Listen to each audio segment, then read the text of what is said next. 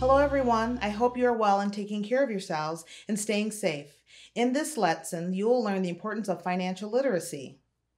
It is an important skill and concepts that you will apply to everyday living and life. The lack of financial literacy can lead you to becoming financially illiterate. You can find yourself accumulating debt burdens and stressful financial concerns. A strong foundation of financial literacy can help support various life goals you have, such as college and buying a home, taking a dream vacation, and managing your debt responsibly.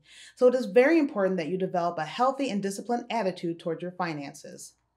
Financial terms matter in becoming financially literate. In this lesson, you'll find terms that are new to you and maybe some that you're familiar with. So below the video, check out the link for the long list of terms that you will become familiar with. It will help you off to a financial healthy start. I encourage you to continue to add this into your financial literacy vocabulary.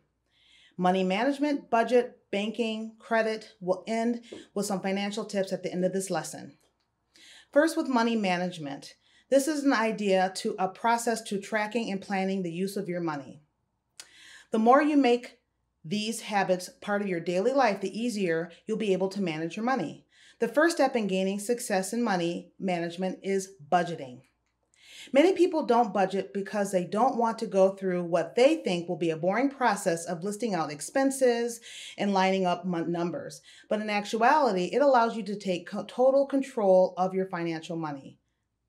It shouldn't feel like a punishment. Remember, it's a plan that includes fun stuff too. Think of your budget as two categories of spending your wants and your needs. Sometimes confusing these two categories can cause more stress. So think of your needs as a place to live, a certain amount of clothing, food, and water. And your wants are those things that make life more enjoyable.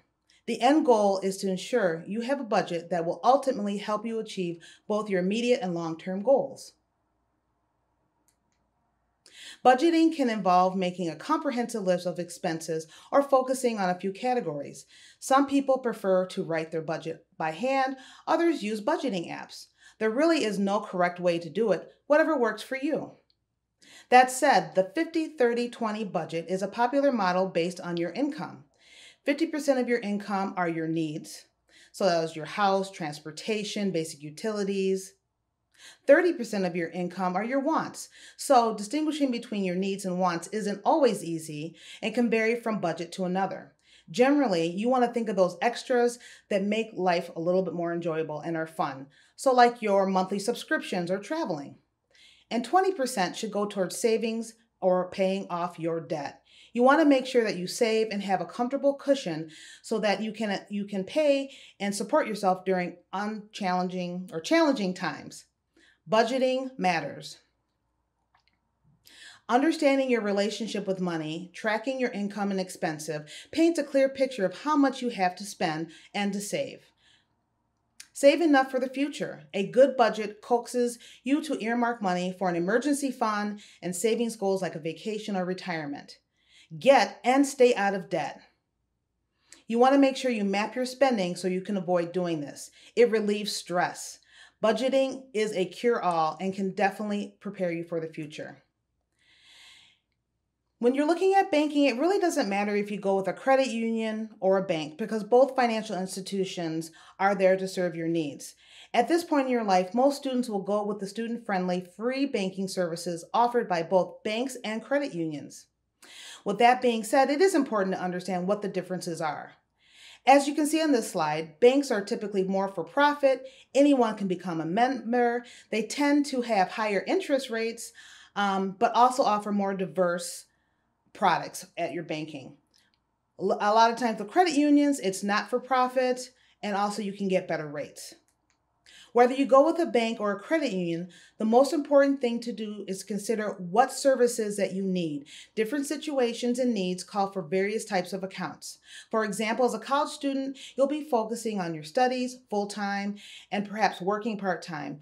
You may need you may only need a simple checking account with a debit card and online banking services.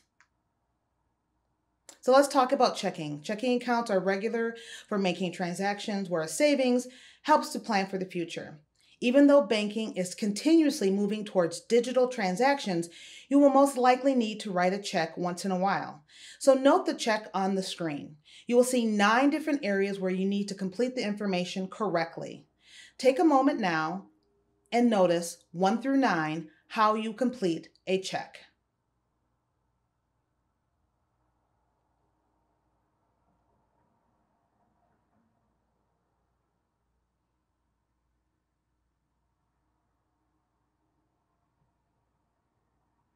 Okay.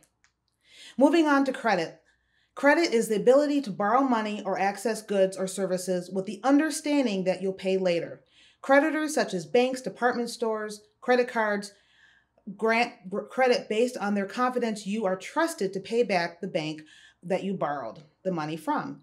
To the extent that the creditors consider you worthy of their trust, you are said to be credit worthy or to have good credit. There are three types of credit. First, revolving credit. With a revolving credit, you are given a maximum borrowing limit and you can make charges up to that limit. You must make a minimum payment each month, but otherwise, the amount you pay can be any portion of the outstanding balance. If you have a partial payment, you will carry forward the remainder of the balance or resolve the debt. Most credit cards count as revolving credit. Second is the service credit. So when you think about your cable, your utilities, these are companies uh, that provide a service to you each month with the understanding that you will pay for them after the fact. The third is the installment credit. An installment is like a loan. So when you're thinking about buying for your student loans or buying a car, you have a set amount that you would pay each month. Good credit is necessary if you plan to borrow money in the future. A higher credit score can mean better interest rates and terms on loans and credit cards. Lenders aren't the only ones who are concerned about your credit your landlords when you try to get an apartment for rent. Insurance companies may use your credit scores to determine if what rates you'll have. Utility companies may check your credit before deciding to let you open an account or borrow equipment. And even prospective employers may check your credit report for character. Your credit report can be used to verify your identity and other federal laws. Good credit is a tool that can help you buy things you need now and pay for them in the future.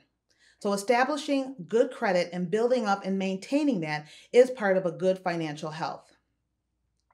Establishing and building up good credit over time is an important el- element that you should take seriously. Understanding your credit score is equally, exp- equally important. Credit scores range between 300 and 850. A score of 800 or above on the same range is considered to be excellent. Most credit scores will fall between 600 and 750. Here is a sample of lists on some money tips that will help you in the future with your financial management. You will also want to check at the bottom of this video commonly um, tips for college students um, that will help you from now until forever. And with a recap of today's lesson, you want to make sure and remember it's important to develop a healthy, disciplined attitude towards your finances.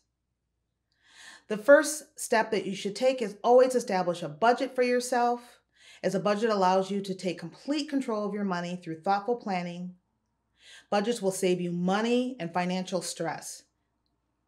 Doesn't matter if you go with a credit union or a bank for your financial services, make sure you find the one that serves the needs that you need to have met. And also, it's important that you make sure that you're aware of your management management of your money and you plan accordingly so you don't get into financial pitfalls and stressful situations and perhaps even establishing bad credit. Now you have the tools needed to become financially literate.